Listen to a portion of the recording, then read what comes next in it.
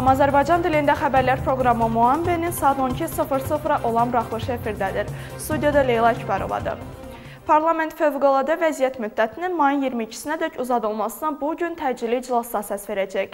Fövqəladə sessiyanın plenar iclası saat 12:00 üçün təyin olunub. Gürcüstan prezidenti Salome Zurabishvili ölkə miqyasında fövqəladə vəziyyət müddətinin mayın 22-sinədək uzadılmasını dünən imzalayıb. Fövqəladə vəziyyətin uzadılmasına dair hökumət prezidentə müraciət edib.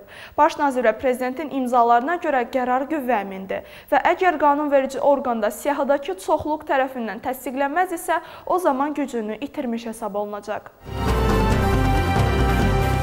Ölkədə avtomobillərlə hərəkətə tətbiq olunan qadağa da qüvvədə qalacaq. Aprelin 27-sinədək Yüngül avtomobillərlə hərəkət qadağan olunur. 4 böyük şəhərin Tbilisi, Rustavi, Kutaisi və Batuminin bağlanması qərarı da qüvvədə qalır. Həftənin cümə günü mərhələli şəkildə hansı məhdudiyyətlərin aradan qaldırılacağı da məlum olacaq. Həmin gün iki plan dərc olmalıdır. Hökumət pandemiya səbəbi ilə gəlirsiz qalmış vətəndaşlar və biznesə necə yardım göstərməyi planlaşdırır.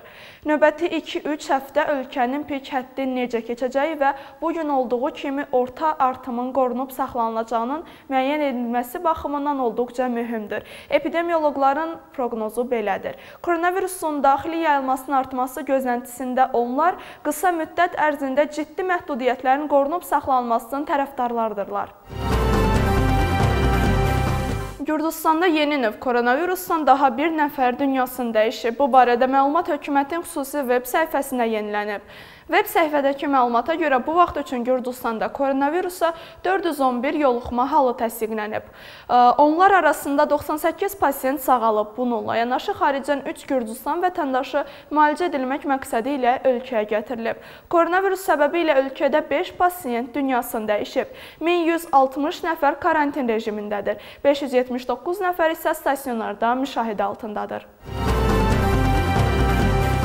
Bolnisidən Luqar laboratoriyasına göndərilmiş 247 testdən üçündə koronavirus təsdiqlənib.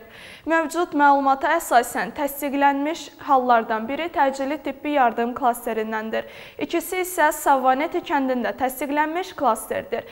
Hər üçü özünü təcrid etmişdi. Göndərilmiş 247 testdən 2 nəfərlə bağlı tədqiqat davam etdirilir. Təsdiqlənmiş bu 3 hallı da nəzərə alarsak, Bolnisidə koronavirusa yoluxması təsdiqlənənlərin sayı artıq 58-dir. Onlardan ikisi sağalıb, biri isə dünyasını dəyişib. Roma Tbilisi reysi ilə Gürcüstana 183 nəfər qayıdıb. Onlar hava limanındaca tibbi yoxlanışdan keçiblər və daha sonra onlar üçün ayrılmış avtobuslarla karantin zonalarına aparılıblar. 14 günlük karantin müddətində xaricdən qayıtmış vətəndaşlar 24 saatlıq tibbi nəzarətdə olacaqlar. Həmçinin gündə 3 dəfə yeməklə təmin olunacaqlar. Koronavirusun yayılmasının qarşısının alınması tədbirlər çərçivəsində hökumətin koordinasiya şurasının qərarı və hökumətin sərəncamı sərəncamı ilə İqtisadiyyat Nazirliyinin Turizm Milli İdarəsinin təşkilatçılığı ilə Gürcüstan miqyasında bu vaxt üçün 83 mehmanxanada karantin məkanları quraşdırılıb. Bu sizə 12.00 üçün çatdıracağım son xəbər idi. Sizinlə 15.00-a kimi sağollaşıram.